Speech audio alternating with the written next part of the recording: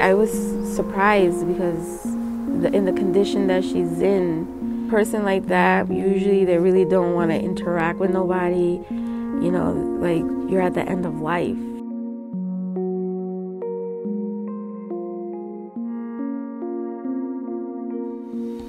Takes a little while. Um, can somebody help me fix my blankets? I'm gonna do all this. I'm gonna fix this up. You want this one? This one? This one has roses.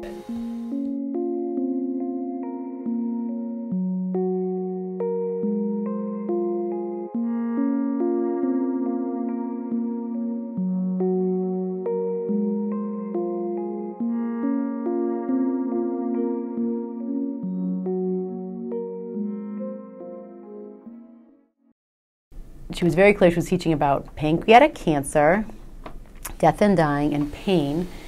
We started doing research and looking up her disease and stuff like that and asking her questions. She was very talkative. I was happy that she was able to open her house and her life and her disease for us to learn about it. It's like a cycle, your life. You started going to school in Holyoke, and now you're teaching for Holyoke. Yeah. And all these people in your class and all the teachers that knew you, now they know you again. As a teacher. Pretty cool. I know, this is so blowing my mind. It's blowing your mind. Yeah. I think she actually wanted someone to talk about it with her. I have um, six months to live, and I already passed that by. A, a couple months. That's when you went to hospice, right? Yeah. This is the second time that I've been in hospital. Your heart just hurts. It's like, what can we do? And that helplessness is very hard. Uh, In school, they always teach us like pain management is the biggest thing.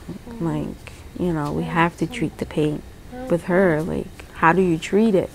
Like, you tried everything. What else is there to try, you know? Holy infant, so tender and mild, sleep in heavenly peace, sleep in heavenly shadows.